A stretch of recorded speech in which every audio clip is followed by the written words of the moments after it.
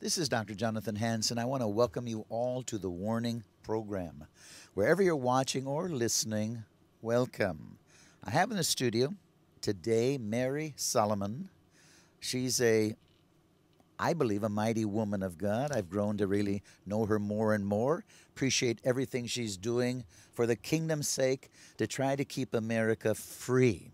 Uh, Mary, why don't you tell them again what you do? Okay, well, I um, I'm just here in the state of Washington, and I teach and I speak on things um, that are near and dear to my heart. One of them is, of course, government and the church, and basically um, how to get the church to understand their civic responsibility, and um, it, because that's very important according to Scripture.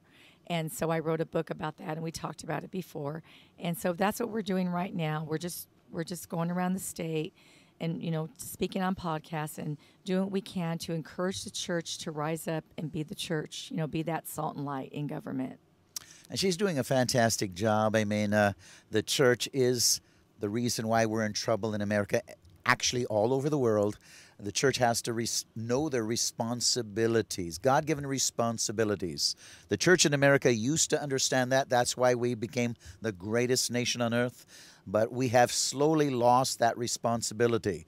Uh, even a gospel that's been twisted to say we're supposed to stay out of politics, when originally, again, 13 colonies, if you wanted to run as a politician, 11 out of 13, you had to say Jesus Christ was your Lord, your Savior, and your God.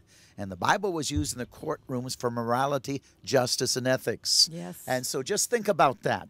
We wouldn't have in America if it wasn't for the pastors in the past, the Black Robe Brigade during the Civil Revolution.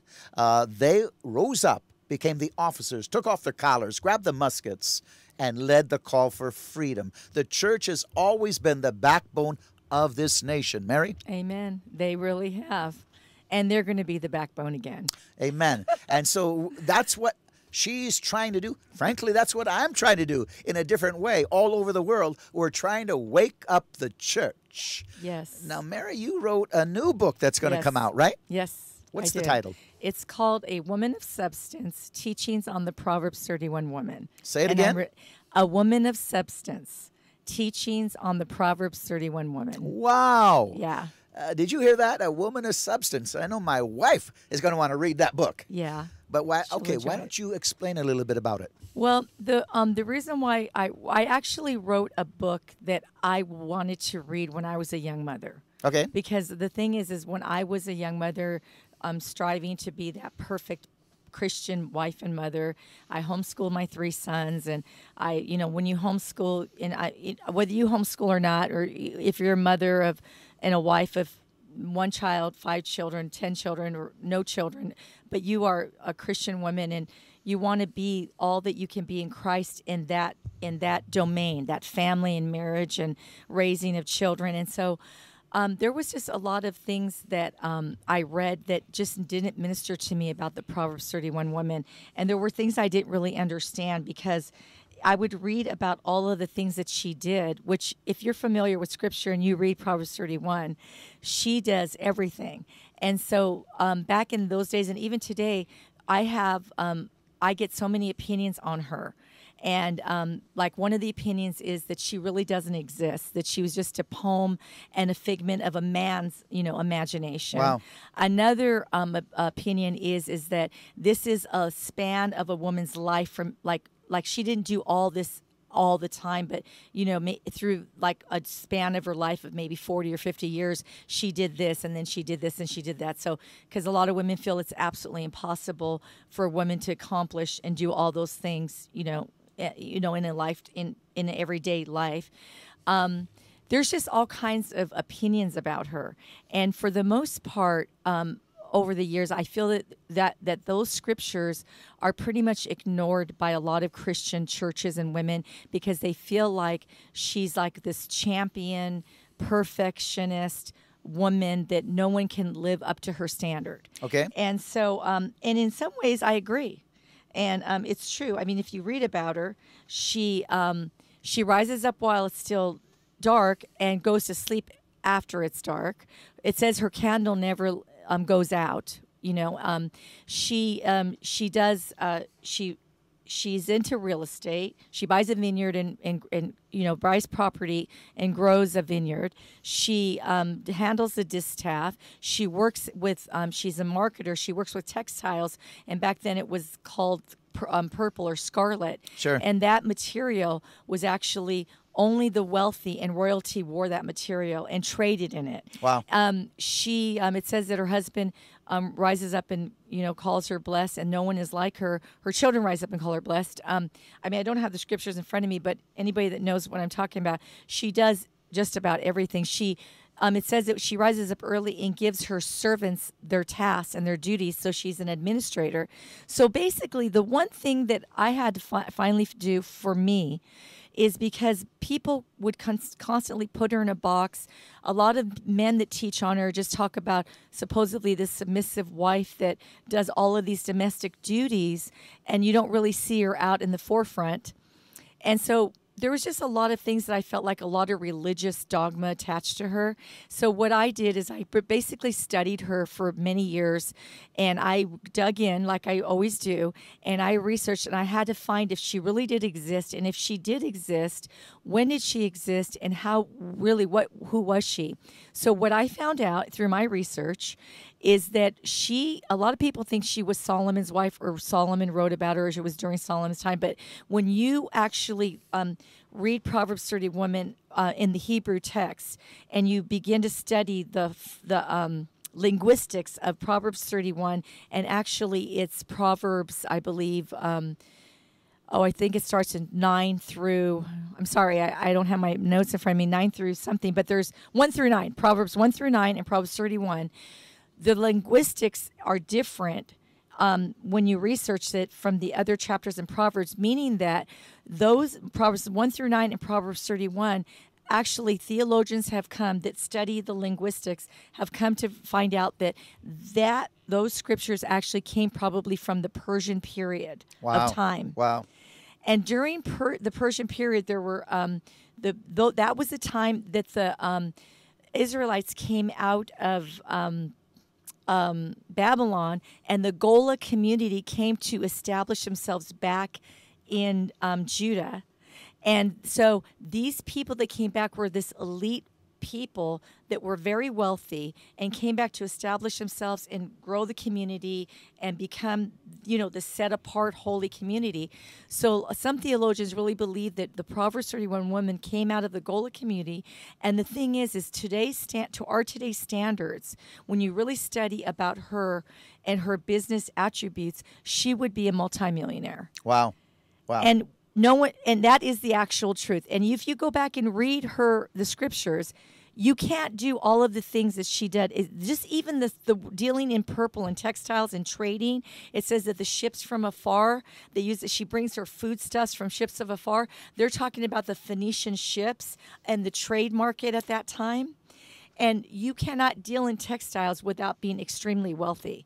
And um, and that's just one thing she buys real estate she invests in real estate she and so just those two things alone those two commodities would have made her a multimillionaire and then it says at the end that she sits in the gates not only with her husband her husband sits in the gates and we know that gates represent authority and power right? Gates are always symbolic of doors of power and authority. Yeah. And that when when in the Old Testament when they sat at the city gates, that's where the governing elders and rulers would come to decide judicial things. They decide what's going on. The gates of the city always represent governing authority. Well, it says that her husband sits at the city gates among the elders. So he is somebody probably like some type of a governor or you know what I mean, r- r- ruling the city with sure, the others. Sure. But then it says her own works sits at the gates. She's there too. And so I think that if you really study scripture and you really take it for you know what I mean? Like you, you have to study it in its historical content. You it's just not some little flowery poem and like oh I want to be the Proverbs 31 woman and I want to cook and clean and be submissive to my husband. And I want uh, Christian wives to be submissive to their husbands because there is an order in the marriage. And I know maybe there's another side of the church of women will say that they don't like me hearing that but there is. The Bible says that Christ is the head of man and the head of um, a woman is her husband. And so there's a submission order. And why is there order? There's order so there won't be chaos and lawlessness. And so don't get me wrong, the scripture also says we are to submit to one another in love, and, and, and the marriage should be a perfect union. So I'm not suggesting that. Um, a husband dominate his wife. I'm not suggesting that a wife rebel and not um, bless her husband. So it's a submission to one to another, a perfect union. But there is an order. So, but the thing is, is a lot of times when people, the church, old religious order teaches on the Proverbs 31 one woman, it's always in this submissive, domestic, um, behind Docile the husband way. thing. That's all I'm trying to clarify. Yeah, that no. that's not what she was. Yeah. She was not that person. Yeah, she And wasn't so- a docile floor mat. No. I, and so anyway, so we talk about her s- historic in the book. I talk about her historical. That's her historical. If you look at so the book is broken up into four parts. The first part is my thesis of today, and I, I talk a lot about biblical womanhood versus feminism, which I want to you know get into in a minute, um, because that's really what the battle is right now. The battle is in our culture right now is the traditional biblical Christian woman and wife versus the feminist, and that's the the the, um, the battle and the war of the family. And so, in the first part of the book, which I'm going to get back to the, the, the feminist, I talk about that. The second part of the book is the historical Proverbs 31 woman in history. Then I go into the Titus 2 women in the New Testament and their story and the champions, the women champions in the Bible in the New Testament, like Priscilla, Phoebe, um, and Lydia. And Lydia, to go back to Lydia, again, another very wealthy woman dealing in purple that had a home that opened up her home, the Apostle Paul. So we can talk about that another time. So then I get into that historical thing. And then in the um, third part of the book, I go into symbols and themes and um, themes like because there's themes of the proverbs 31 like spiritual themes like one thing i, I when i study the proverbs 31 women over the years i always felt like she, her her life is so perfect in order and the way god the way the scriptures are designed that it kind of reminded me in the spiritual sense of the bride of christ you know what I mean, without spot or wrinkle, and so you know, I'm not saying that you know, but you know, I mean that, and then, Yes, and yes. then her life. Another part, of another theme I wrote about is um, her order the or the order of her day, the order of her life, and the spirit of order, and how God is a God of order, and even all of creation is order. So there's themes, you know, that I kind of pull from, and then the last part is um, up to date. Um, all the practical application like how do we take those scriptures and apply it to our life today as women so there's parts there's uh there's an application on um you know um, ta- table setting meals a marriage, time management tips. So it's a pretty full book, you know, and I'm really excited about it. Okay, we're going to get back to this book in a minute, but uh, if you've just tuned in, you're listening, watching the Warning Program. My name is Dr. Jonathan Hansen. I'm the president of World Ministries International and Eagles Saving Nations. I have Salamon, uh, Mary Salamon, in the studio live today. She's a leader, heavily involved in the Republican uh, Party as far as putting the right people in. That's what I said, the right people. Not all Republicans are conservative. Uh, we have rhino Republicans that are, uh, we don't want them in. But she's trying to put the right people into office, trying to wake up the church. Uh, the same thing I am trying to do. And so, uh, again, Mary Salamon. Now, she just wrote a book. And, Mary, what's the name of the book again? A woman of substance, a woman of substance, teachings on the Proverbs 31 woman. Okay, a woman of substance, teaching on the Proverbs 31 woman. And so far, everything I heard, I like. Uh, I'll tell you what, women are not supposed to be docile. Uh, I wrote an article years ago Trinity in marriage. What does that mean? Well, it, means that just like God in the Trinity, Father, Son, and Holy Spirit, different roles, different responsibilities, but equality, Praise respect, and dignity. wonderful. Yes. And I did it in line with marriage. So Yes. again, we're not supposed to be tyrants over our wife. We're supposed to work in harmony Mm-hmm. and we're supposed to cooperate. We have different roles sometimes and responsibilities, Mm-hmm. and uh, but we're supposed to honor one another. Yes. I know my wife is a Proverbs 31 woman. I honor her. I know her giftings and I support her. And uh, one day, I'll sit back and applaud her when when I'm, Yes. it's her time to shine more than me, and uh, I I'm anxious for that. I'm telling you, uh, I want to support my wife in everything Yes. God has called her to do and be. I'll be her number one fan. Yes. and, And, so that's what good husbands, loving husbands do. They we do need that. to understand yes. this, ladies and gentlemen. And so uh, again, uh, Mary, continue. Well, I wanted to just get into the feminist thing because right now um, in our country, in our nation, we're at war. The family's at war. And one of the things where I think it actually started, well, they say it started like in the 1930s, which, you know, if you do your research on the communism and the socialism, I, I get all that. I mean, I, I mean, actually, the war started in Genesis when Satan entered the garden, right? I mean, women from that point have been the subject of, of war um, and, and the man too. But you know, um, women have been um, used as sex slaves, sex trafficking. I mean, there are men now and boys, little boys. God, God bless all of them. I pray that they all be delivered in this in this lifetime. But um, but, but basically, the enemy went after the woman, and the woman was deceived. And so the spirit of deception is something that um, the, ant- the the the spirit of the age, the antichrist spirit, likes to go after. And so what happened? Um, I'm just going to go back as far as the 60s. So in the 60s, the the spirit of um, antichrist came in through feminism. And what happened is the book came out in the 60s. It was called um, it was called the Feminine Mystique.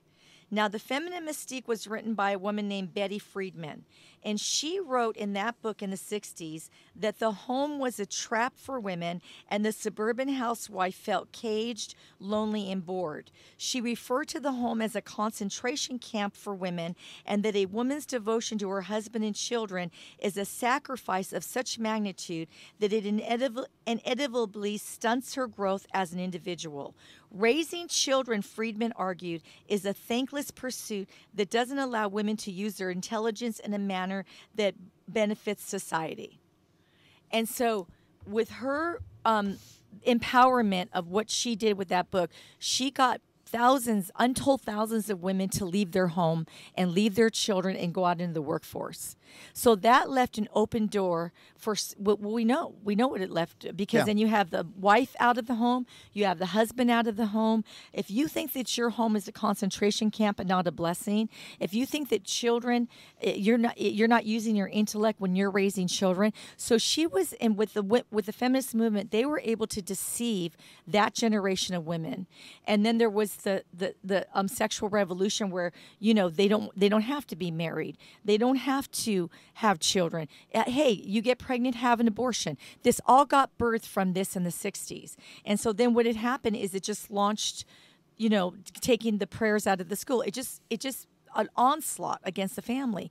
Well, now you come the 70s and then you come the 80s and what happens is the media, the news, the television shows, the movies all portray women as these superpower champions, superheroes, and men as these weak, docile, no authority. So the feminist movement, what it's actually done is tore the woman away from her home and her marriage and has stripped the men of all their authority. A woman, a Christian, biblical women don't do that. No. Biblical women are called, and see, the scripture says in Proverbs that a, a wise woman builds her house a foolish woman tears it down with her own hands. Hands are are are a symbol for power and work. A wise woman of God can build her house and strengthen it and make it a fortification for the husband, the children. You build the family, you're building your neighborhood, you're building your community. Foolish woman foolish women will tear it down, tear the marriage down, tear the family down, tear the next generation down. Do you realize that women are so powerful in the Lord, in Christ, that we can change the world and change our nation by building our family, by building up our children, by building our husband, by building our community. And this is the thing: is you, um, you women will say, "Well, I, I want to do a business, or I, I, I want to work, or I want to do that." You you can do whatever you want to do, but you don't have to do it in such a way that you're tearing your family down and your and your husband down and your children down. You can come together with your husband and work together and decide in Christ we're going to build our home. In Christ our foundation will be the word of God. In Christ, we're going to figure out, okay, you're going to do this and you're going to do this, but we're not going to let our children go. We're not going to let our children go to the the Netflix and to the the the boxes and to the phones and to being la- uh, you know la- the latchkey kids. So many women in that generation, the 60s and 70s, even the 80s, were going after a corporate career, and the kids were latchkey kids coming home from home from school at two o'clock, locking themselves in the house until somebody got home at six or seven. What? Who was the adult in the room? The television. Yes. This is not a godly biblical home. Women can Christian women can be in business, they can be in ministry, they can raise their children. You go back to the Proverbs 31 woman, she did it all and her children rose up and were blessed. Why? Because the foundation is the word of God in Christ Jesus our Lord and Savior. We are not demoniacs. We are not sexual deviants. We are godly women that love our husbands, love our children, love our community, and by the Holy Spirit, we will be led to do the right things and we will be successful. You the home is not a concentration camp and our marriage is not a prison. We are blessed. We are best blessed by the Lord to bear fruit for the kingdom. And God will give you wisdom and he will give you honor and he will bless your finances and he will bless your health.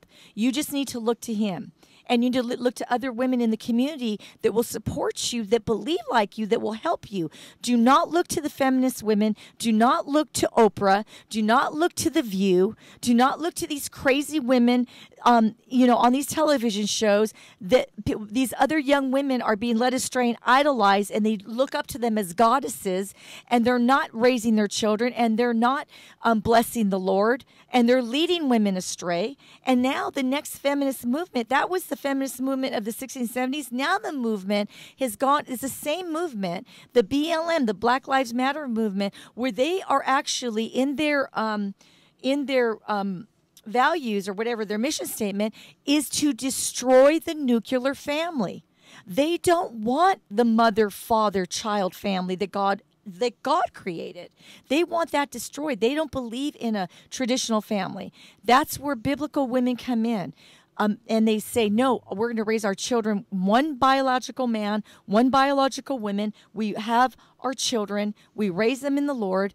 And see, outside of that, the feminists, do you know that the feminists, they were all for women's rights until they weren't? They will not even defend now the women of these men, the men that are dressing up as women in women's sports. They won't, these feminists won't def- defend the women anymore. So, what was it really about?